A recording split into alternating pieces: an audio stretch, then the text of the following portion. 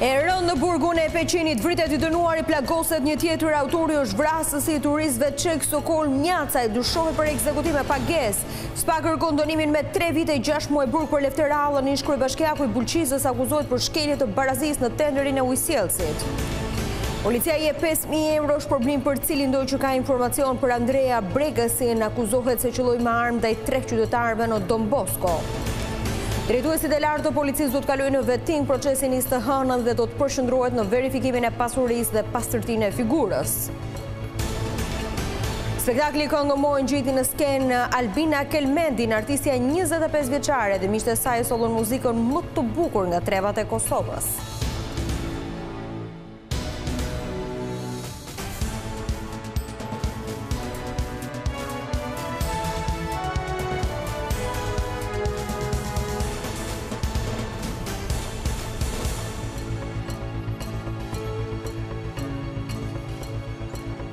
Mirëmbrëma zonja dhe zotërinj do të jemi së bashku në edicionin qendror të lajmeve këtu në ekranin e televizionit kombëtar Vizion Plus. Një i dënuar në burgun e Peqinit u vra dhe një tjetër u plagos këtë të premte. Krimi i rëndë që dyshohet se u porosit nga jashtë u krye nga i dënuari me burgim të përjetshëm Sokol Mjacaj. Ai qëlloi me armën që mendohet se u fut në burg me anë të një droni.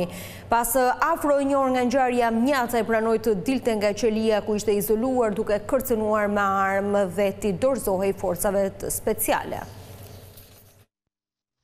Një ngjarje e rëndë tronditi burgun e sigurisë së lartë të Peqinit këtë të premte.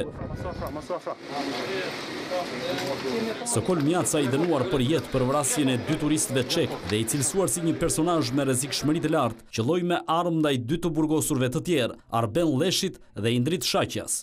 Menjëherë të plagosurit u dërguan në spital, por Arben Lleshi nuk mundi të mbijetojë, ndërsa Shaqja u dërgua drejt Spitalit të Traumës në Tiranë, nën masa të rrepta sigurie. Fillimisht ngjarja u raportua si një përplasje fizike mes të dënuarve dhe gardianëve, por më pas në njoftimin zyrtar Drejtoria e Përgjithshme e Burgjeve tha se nuk kishte pasur një konflikt masiv. Dyshohet se krimi mund të ketë qenë i mirëmenduar pasi Lleshi së bashku me të burgosurin tjetër, Ilir Shaqja, ishin në qeli në momentin kur u qëllua ndaj tyre.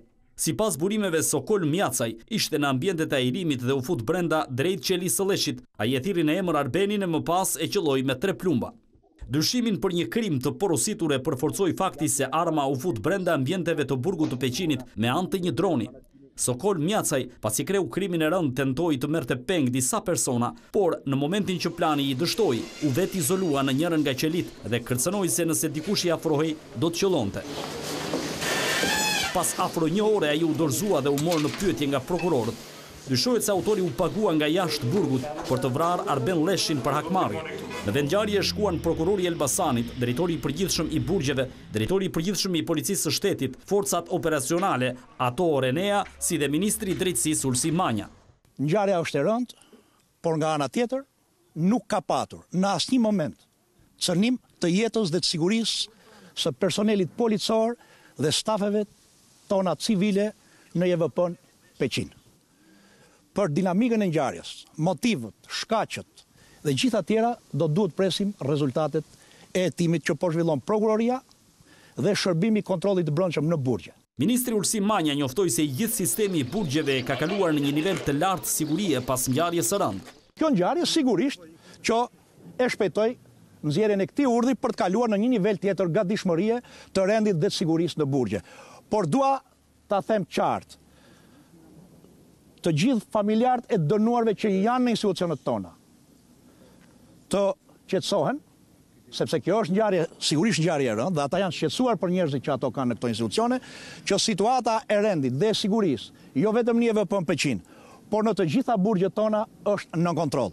Vrasja e të dënuarit në burgun e Peqinit dhe plagosja e një tjetri, ndodhi teksa Ministria e Drejtësisë bëri të ditur këtë të premte se ishte vendosur që Sokol Mjacaj të futej në regjimin dyzet e një bis. Ne do të lidhemi tani me gazetarin Esido Barka, i cili ndodhet në ambientet e jashtme të burgut të Peqinit për të mësuar më shumë rreth situatës atje pas ngjarjes së rëndë. Esido, përshëndetje! Prandera përshëndetje. Si është situata në këtë institucion të vuajtjes së dënimit në Peqin pas ngjarjes së rëndë të ditës së sotme? Një situatë në fakt paraqitet e qetë dhe e vendosur totalisht nën kontroll sa i takon ngjarjes së rëndë të shënuar disa orë më parë pikërisht në ambientet e brendshme të Burgut të Sigurisë së Lartë në Peqin. Siç u pohua në fakt, siç u pohua në fakt edhe nga vetë ministri i Drejtësisë Ulsi Manja, tashmë ka nisur dhe zyrtarisht hetimet nga ana e grupit hetimor të përbërë nga Prokuroria e Elbasanit, Policia e Elbasanit, por dhe nga vetë ministri një grup pune i posaçëm i drejtuar nga Ministria e Drejtësisë për zbardhjen e plotë të ngjarjes. Është ende në fakt e dyshimtë dhe është një mister mënyrën se si ka arritur i burgosuri me dënim të përjetshëm Sokol Mjacaj që të sigurojë armën tip pistoletë për të ekzekutuar më pas një tjetër të burgosur me dënim të përjetshëm Arben Lleshi brenda ambienteve të Burgut të Sigurisë së Lartë të Peqinit. Ajo të paktën burimet që konfirmojnë është se menjëherë sapo Mjacaj është vendosur në dijeni që do të kalojë në një regjim të egër dyzet e një bis pra një regjim i izoluar ka menduar më pas që të kryejë dhe vrasjen për shkak sepse nuk kishte kohë. Sot në fakt ka qenë dhe lajmërimi i vetë ministrit Manja, ku ka lajmëruar në media që do të kalojë Sokol Mjacaj në një regjim të posaçëm izolimi dhe pak më pas është njoftuar dhe për ngjarjen e rëndë ku ka shënuar brenda ambienteve të Burgut të Sigurisë së Lartë të Peqinit. Ajo që thuhet të paktën deri në këto momente nga hetimet paraprake nga grupi hetimor, i cili është duke e marrë në pyetje të arrestuarin, deri në këto momente ai nuk ka pranuar dhe nuk ka dhënë shpjegime mbi motivet apo personat të cilët e kanë shtyrë që të kryejë këtë vrasjen, kjo ngelet për t'u parë në vijim gjatë hetimeve, ai do të merret sërish në pyetje edhe ditën e nesërme, pas përfundimit të procesit hetimor, marrjes në pyetje ditës së sotme nga prokuroria e Elbasanit dhe jo vetëm, për të zbardhur sado pak mbi dinamikën e ngjarjes dhe personat të cilët dyshohen se fshihen pas ngjarjes së rëndë. Sa i takon armës të siguruar nga Sokol Mjacaj, të paktën raportimet e para ose dyshimet e para le të themi paraprake, mendohet se ka qenë me anë të një droni të cilin ka siguruar hedhjen. Nga një distancë e largët të pistoletës me mulli, të paktën nga hetimet paraprake. Megjithatë, kjo është pista e parë e hetimit, pasi është edhe një pistë tjetër ku hetuesit kanë dyshime për shkak sepse arma nëse do të ishte hedhur nga një distancë e largët, pra nga një lartësi e madhe, do të kishte pësuar dëmtime. Pista tjetër është se nëse i burgosur ka arritur që ta sigurojë armën përmes burgut, pra është futur në mënyrë ilegale përmes burgut duke anashkaluar le të themi të gjitha të gjitha etapat dhe fazat e sigurisë dhe nuk është arritur të identifikohet, të paktën nga ana e kontrolluesve. Kjo ngele për t'u parë në bazë të hetimeve nëse ka dhe persona të tjerë të përfshirë. Po, Pranvera? Nëse nuk gaboj, përpara katër vjetësh ka qenë ministrja Etilda Gjonaj që ka folur për masa të përforcuara të sigurisë në burgje, ku ka folur për sisteme të tëra të monitorimit me kamera, ku ka folur për bllokues të valëve edhe të aparateve celular, a supozohet që këto bllokues vale do të kishin bllokuar pra nuk do të kishin lejuar as dronin që në qoftë se qëndrojmë tek pista e dronit? Patjetër, fakti teorik nuk duhet të kishte lejuar as dronin por as materiale të jashtëligjshme siç është dhe pistoletë apo arma e zjarrit, nëse është arritur të futet përmes përmes sistemeve të sigurisë brenda ambienteve të burgut. Kjo ngelet për t'u parë dhe për t'u verifikuar nga vetë hetuesit nëse ka të implikuar dhe persona brenda ambienteve të burgut të tjerë të cilët kanë ndihmuar të burgosurin Sokol Mjacaj për të arritur të siguronte armën. Sa i takon dinamikës së ngjarjes, Sokol Mjacaj mendohet se pasi është lajmëruar që do të futet në burgun e sigurisë së lartë, pra le të themi në regjimin e sigurisë së lartë dyzet e një bis, ai menjëherë më pas ka ka ka ka nisur planin për të kryer vrasjen e të burgosurit tjetër me burgim të përjetshëm Arben Lleshi duke duke menduar se nuk ka kohë më të vepronte ditët në vijim pasi procedurat ishin nisur tashmë dhe pritej që së shpejti ai të kalonte në izolim të plotë ajo të paktën nga hetimet paraprake dhe nga burimet është siguruar se i burgosuri Sokol Mjacaj ka qenë në dhomën e ajrimit dhe më pas është afruar në qelinë ku ndodhej viktima Arben Lleshi dhe i burgosuri tjetër shok i dhomës brenda të njëjtës qeli me viktimën, Indrit Shaqe, i cili ka mbetur i plagosur me një plumb në këmbë. Në këto momente ai e ka thirrur viktimën, ku ai është afruar dhe më pas e ka qëlluar me dy plumba, një plumb në fakt ka rezultuar fatal kur e ka prekur në në pjesën e qafës, çka rezultoi fatale për jetën e Lleshit, i cili ndërroi jetë duke u dërguar në spitalin e Elbasanit. Personi tjetër i plagosur është Indrit Shaqe, i cili është plagosur në këmbë dhe është jashtë rrezikut për jetën. Të paktën grupi hetimor beson se viktimë ose le të themi shënjestër ka qenë vetëm viktima dhe jo personi tjetër për shkak se ai nuk ka tentuar që ta vrasë. Është i plagosur në këmbë dhe nuk ka patur për qëllim ekzekutimin e të dy personave, por vetëm të Lleshit. Burime të paktën shprehin gjithashtu. Nëse s'kemi detaje të tjera do të të falënderoja shumë për lidhjen direkte. Ishim me gazetarin Esi Dobarke i cili raportoi jashtë ambienteve të burgut të Peqinit ku ka ndodhur sot ngjarje e rëndë. Po kush ishte 38 vjeçari Arben Lleshi që humbi jetën në burgun e Peqinit? Ai ishte dënuar për vrasjen brutale në Britaninë e Madhe të bashkëfshatarit të tij Agim Hoxha, ngjarje e ndodhur në vitin 2012, pasoi një zinxhir vrasjesh në fisin Lleshi, krime për të cilat ende nuk ka autor. Ky është i dënuari përjetë Arben Lleshi që u vra në burgun e Peqinit me armë zjarri. Ai është një emër i njohur për drejtësinë shqiptare dhe atë të huaj, për sagën njëmbëdhjetë vjeçare të gjakmarrjes që filloi në vitin dy mijë e dymbëdhjetë në Britaninë e Madhe. Arben Lleshi asokohe njëzet e shtatë vjeç, raportohet nga mediat britanike se ekzekutoi e më pas i dogji bashkëfshatarit të tij trupin e pajetë në një automjet. I vdekur mbeti njëzet e nëntë vjeçari Agim Hoxha, vrasje e cila është përshkruar si brutale dhe se ka ndodhur për hesape të pambyllura droge. Për këtë ngjarje ai u dënua nga Gjykata Britanike e Winchester me burgim të përjetshëm në vitin dy mijë e trembëdhjetë e u ekstradua drejt vendit tonë në vitin dy mijë e gjashtëmbëdhjetë. Pas kësaj vrasjeje makabre, pjesëtarë të fisit Hoxha u betuan për të mos lënë asnjë mashkull gjallë nga familja Lleshi. Në vitin dy mijë e trembëdhjetë, u vra në pritë në vendin e quajtur Pujk, xhaxhai i Arben Lleshit, Xhavit Lleshi. Ndërsa në vitin dy mijë e gjashtëmbëdhjetë, u vra përpara derës së shtëpisë, Hajredin Lleshi, babai i të vrarit këtë të premte në burgun e Peqinit. Po nga i njëjti fis në vitin dy mijë e shtatëmbëdhjetë u rrëmbye dhe u zhduk në Kamëz Artan Lleshi. Ndërsa në vitin dy mijë e njëzet, dyshohet se njëzet e një vjeçari Klevis Lleshi, djali i xhaxhait të viktimës, u rrëmbye në qytetin e Burrelit. Eshtrat e tij u gjetën pas afro tre vjetësh në fshatin Shpërdhet të Mamurrasit. Megjithatë në asnjërën nga këto vrasje, policia nuk ka mundur dot të gjejë autorët. Pas çdo vrasjeje apo zhdukjeje, janë marrë në pyetje anëtarët e familjes Hoxha nga fshati Shqefën i Macukullit, por ata kanë mohuar që të kenë dorë në këto krime, e ndërsa policia nuk ka mundur dot të ngrejë një akuzë ndaj tyre. Policia e Shtetit ka kërkuar ndihmën e qytetarëve për të arrestuar tridhjetë e një vjeçarin Andrea Bregasi, i riu qëlloi me armë ndaj makinës së një dyzet e dy vjeçari në Don Bosco, ndërsa motivet e sulmit mbeten ende mister.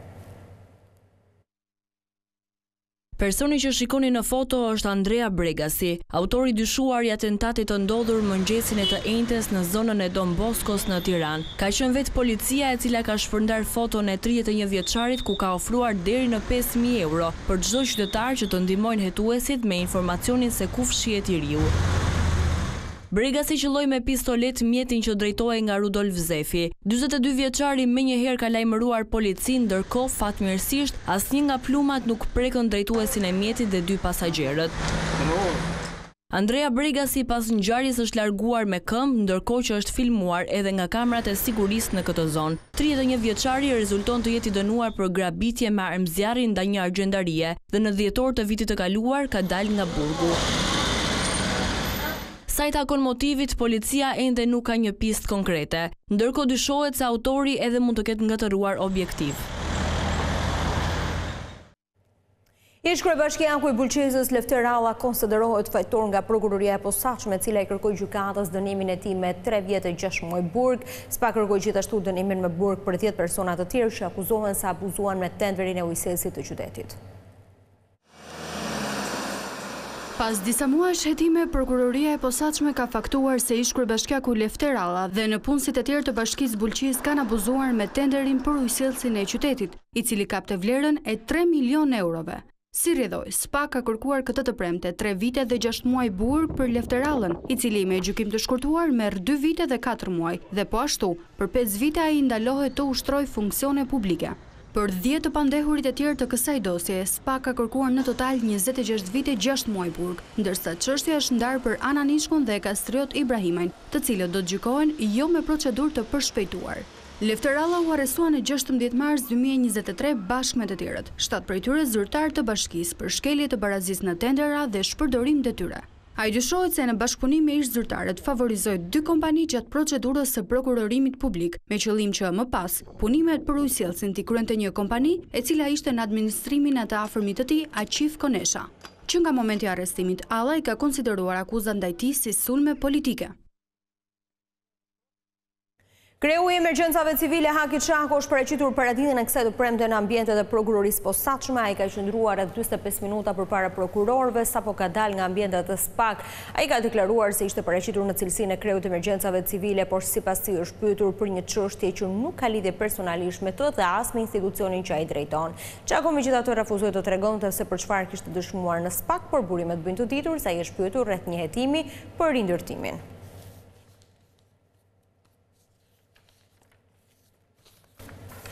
Një lokal në zonën e Kasharit në Tiranë shërbente prej kohësh si vend ku shitej lëndë narkotike, policia arrestoi 4 persona dhe sekuestroi kokainë dhe kanabis.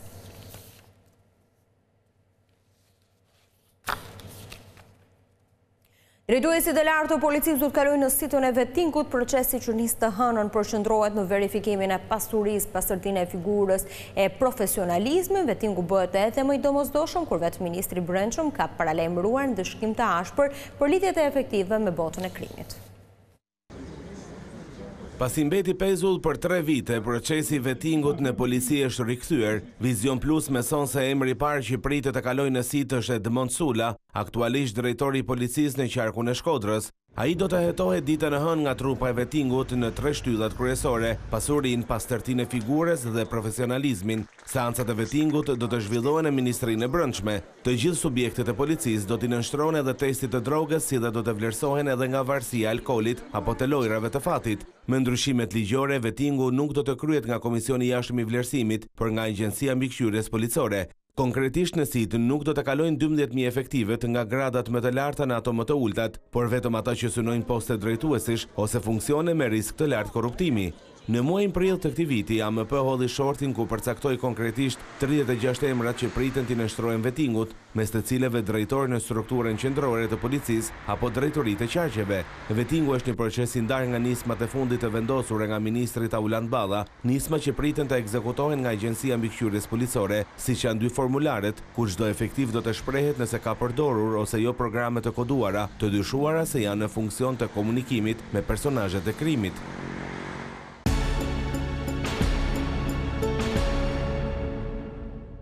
Ditën kur Këshilli i Mandateve vendos për fatin e Sali Berishës, demokratët nisin protestat, por vetë lideri i opozitës pretendon se aksioni nuk ka lidhje me çështjen e imunitetit të tij, dhe kërkesën e SPAK, Berisha paralajmëron se mosbindja civile nuk ndalet deri në rrëzimin e Edi Ramës nga pushteti.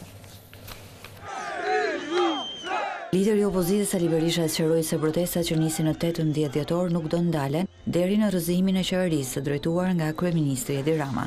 Edhe pse tubimi i parë është vendosur të mbahet para godinës së kryesisë së Kuvendit, Pikërisht në orën kur do të shqyrtohet kërkesa e Prokurorisë së Posaçme për heqjen e imunitetit të Sali Berishës, vetë Berisha theksoi se protesta s'ka lidhje me SPAK-un. Absolutisht s'ka asnjë lidhje. Ka lidhje me Edi Ramën dhe me vendimin e tij të tmerrshëm antidemokratik, që mori në parlament, pra është vazhdim i protestave tona. Berisha dhe demokratët kanë folur shpesh për protesta gjatë muajve të fundit, por ende mbetet e paqartë nëse ky cikël i ri protestash do të jetë apo jo paqësor. Le të shohim se çfarë do jetë. Ne kemi filluar protestat për rrëzimin e qeverisë. Në këtë betejë të re që Berisha nis të hënën, duket se nuk do t'i ketë në krah në protestë deputetët e drejtuar nga Gazment Bardhi. Burime pranë këtij grupimi bëjnë me dije se deputetët do të vazhdojnë protestën e tyre në Parlament. Asnjë krisje, asnjë krisje! Të garantoj se ata janë kontributorë Shumë të rëndësishëm të gjithë deputetët të them vërtetën në një arritje jashtëzakonisht të madhe të Partisë Demokratike. Lideri i opozitës Berisha deklaroi se Partia Demokratike do të rezistojë edhe pse atij vetë duket se do t'i hiqet liria. Historia ka forcue se në kushte të tilla partitë veç se janë forcue dhe kanë kanë ecur të sigurta drejt fitores. Javën e ardhshme Parlamenti do t'i japë autorizimin Prokurorisë që t'i heqë lirinë liderit të opozitës Sali Berisha. E nëse gjykata e miraton kërkesën e SPAK-ut, atëherë duket se kjo është e premtja e fundit që Berisha del në konferencë për gazetarët. Tre deputetë të opozitës do të jenë për dhjetë ditë jashtë Parlamentit, por me rregulloren e re ndëshkimi për ligjvënësit që shkaktojnë kaosin në Kuvend duke përdorur tymuese dhe flakadanë, do të jetë deri në dy muaj dhe nuk do të marrin pagë. Saimir Korreshi, Edmond Spaho dhe Kastriot Piroli janë tre deputetë demokratë të radhës për të cilët Partia Socialiste kërkoi përjashtimin e tyre për dhjetë ditë nga jeta parlamentare. Ata janë të fundit në radhët e opozitës që u ndëshkuan sipas rregullores së vjetër. Pas tyre çdo deputet demokrat që ndez tymuese, zjarr apo përplaset fizikisht me kundërshtarin rrezikon deri në gjashtëdhjetë ditë përjashtim. Me rregulloren e re të propozuar dhe të miratuar me procedurë të përshpejtuar nga socialistët, ndëshkimi ndaj thyesve demokratë të rregullave në Parlament do të jetë edhe më i rëndë. Masa disiplinore më e ashpër është ajo me dy muaj, Deputeti që përdor mjete piroteknike, tymuese apo lëndë të ngjashme për gjashtëdhjetë ditë do të mbetet pa punë dhe pa rrogë. Tridhjetëditëshi është në rastet kur një demokrat zihet me grushta me një socialist, ministër apo punonjës të Gardës së Republikës. Kjo masë është e vlefshme edhe kur deputeti protestues dëmton pajisjet e nevojshme për zhvillimin normal të një komisioni apo seance parlamentare. Kur ka mbetur edhe një seancë për këtë sesion parlamentar, pritet të shihet se si do t'i qaset pjesa më e madhe e opozitës masave të reja ndëshkuese nga janari e më pas, kur deputetët të rikthehen pas pushimeve të dimrit. Prej tetorit, kur deputetët mbështetës të Sali Berishës dhe Gazment Bardhit u bënë bashkë kundër Edi Ramës që sipas tyre po u mohon të drejtat që ua njeh Kushtetuta, janë me dhjetëra deputetë demokratë që janë përjashtuar më shumë se një herë. Përballë kaosit dhe rezistencës së pjesës më të madhe të opozitës për të mos u dorëzuar në betejën e tyre deri në plotësimin e kërkesave, PS në mënyrë të njëanshme ndryshoi rregullat e lojës, rriti masën ndëshkimore dhe u hodhi në tryezë projektligjin e ri për ngritjen e komisioneve hetimore, që është edhe një nga arsyet e sherrnajes në Kuvend.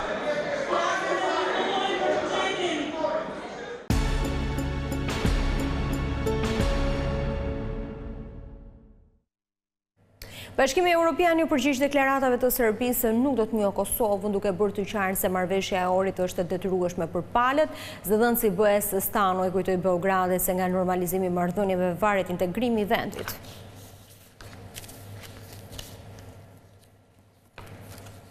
Shqipëria do të vazhdojë angazhimin në arenën ndërkombëtare përtej mandatit si anëtare jo e përhershme e Këshillit të Sigurimit. Ministri i Jashtëm Igli Hasani tha se vendet e Ballkanit do t'i kushtojnë vëmendje edhe më të madhe bashkëpunimit mes tyre në funksion të sigurisë.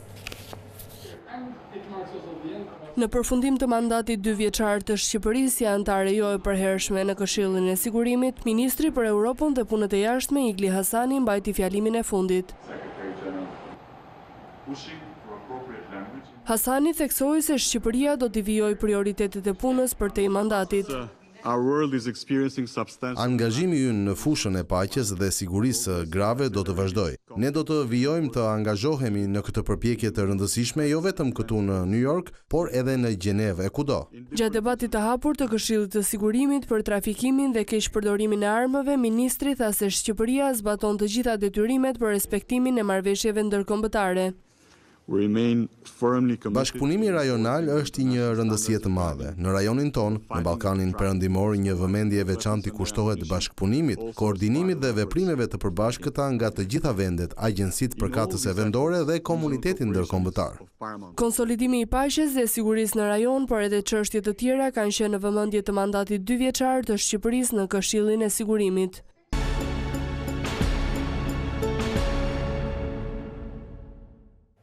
Albina Kelmendi e shoqëruar nga familjarët dhe miqtë e saj ishte protagoniste e mbrëmjes së djeshme në spektaklin Këngëmoj. Artistja 25 vjeçare interpretoi disa nga krijimet muzikore më të bukura të Kosovës.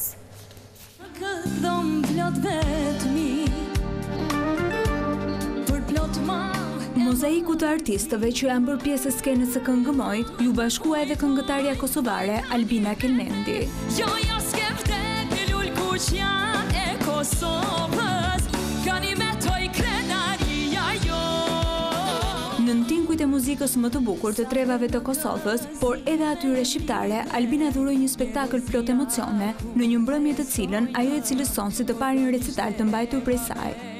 Jemi mundu që t'i plotësojmë dëshirën çdo dëgjuesi dhe çdo shikuesi, ndoshta jo të gjithëve, sepse ne mundohemi që të paktën gjithëve t'ua plotësojmë dëshirën, Kemi zgjedh këngë të ndryshme, janë këngë me të cilat jam rrit, këngë të cilat kohë pas kohe do t'i risjell në verzionin tim pa i humbur kuptimin dhe vlerën atyre këngëve që kanë peshë shumë të madhe.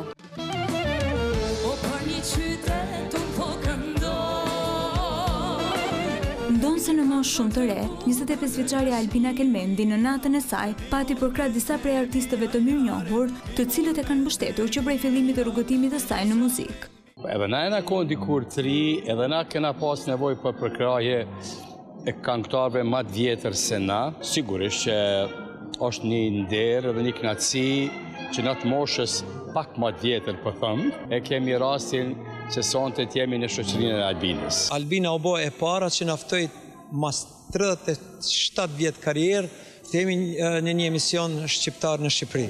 Kjo është hera e parë që vijmë në Shqipëri. Albina është me të vërtetë është një kvalitet shumë i lartë i një këngëtares të re e cila performon shumë në kangën shqipe që domosdo ka kultivu shumë. Po të jemi bashkë një të dy, do të shikjoj me ziri. E sigurisht, publiku është mësuar që shpesh ta shohë Albinën të shoqëruar në skenë nga familjarët. Ndaj këtë mbrëmje nuk munguan as prindërit e saj, Albana dhe Bujar Kelmendi. Të interpretosh një skenë me vajzën është kënaqësia ma e madhe ndoshta që mund t'i jepet një prindit. Unë e përkrahu se kritikat i marrim jo vetëm Albina, po gjithë familja prej bashkëshortit. Për mua ishte befasi sonte. Si duket Albina me Ka bo një plan për mua kështu për faktin se unë nuk këndoj ma që pesëmbëdhjetë vite për shkak të siç e theksoi edhe Albina që unë kam humb zërin, se isha dikur këngëtar, mirëpo ishte një befasi e këndshme, unë se prita dhe besoj që ia dola me sukses atë ta jap atë çfarë Albina kërkoi nga unë. E enjtja solli sërish një mbrëmje magjike nën interpretimin e disa prej zërave më të mirë të skenës, Ndaj për të gjithë ata që nuk patën mundësi ta ndiqnin natën e Albina Kelmendit, Këngë Moj ju fton të shihni transmetimin të premten në orën njëzet e tre dhe të shtunën në orën shtatëmbëdhjetë.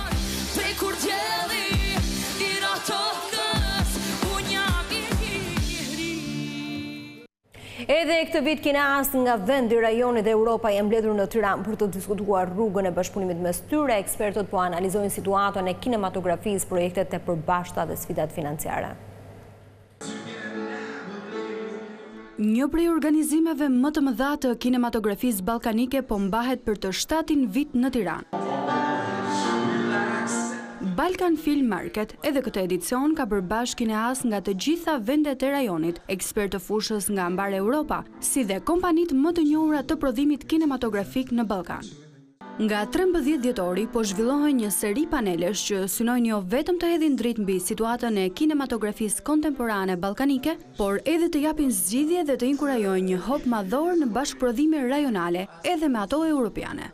Donim të krijonim një vend, një aktivitet, një institucion në një farë mënyre i cili tregohej i kujdesshëm për skenaret e regjizorëve të rinj, por jo vetëm, të cilët kishin nevojë të ngutshme për të marrë një trajnim, një mentorim nga mentorët më të mirë të Europës. Të gjitha aktivitetet po mbahen në ambientet e Piramidës, ku aspirantët për të nisur punën për filmin e tyre të parë, të përzgjedhur paraprakisht në bazë të aplikimeve të realizuara përgjatë dy muajve të fundit, po punojnë individualisht me mentorë të huaj për të zhvilluar skenarin me të cilin përfaqësohen. Po ashtu ky edicion i shtatë ka si synim krijimin e urave komunikuese mes industrisë kinematografike. Vij nga gjërat dhe ëndrrat tona për të pasur filma, për të pasur një kinematografi në Tiranë ishin gjithmonë edhe më të mëdhaja. Sot që jemi para jush jam shumë i lumtur që jo vetëm po sjellim brenda momentin të parë që kemi hapur kemi krijuar agjenci Zyrën e Filmit Tiranë, kemi sjellë në Tiranë rreth shtatëmbëdhjetë produksione të konsiderueshme filmike europiane, por sot përveç festivaleve të filmit që çdo vit e më shumë po shtohen, kemi sjellë në Tiranë, e kemi kthyer Tiranën në një kryeqendër për kinematografinë e rajonit. Prej vitesh tashmë, marketet e filmit janë shndërruar në boshtin kryesor të kinematografisë, teksa tërheqin profesionistë nga e gjithë bota. Eventi do të zgjasë deri në datën shtatëmbëdhjetë dhjetor. Lëvizja e vetëvrasjes është libri i autorit grek Petros Markaris, përkthyer në gjuhën shqipe. Romani merr nxitje nga ngjarje të vërteta që lidhen me vetëvrasjet e mjekëve gjatë periudhës së pandemisë.